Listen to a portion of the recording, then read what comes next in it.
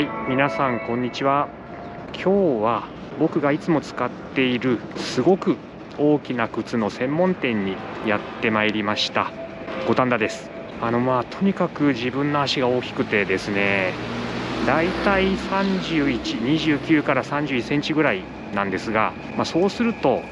そもそも国内のメーカーってまああっても28.5か29までしか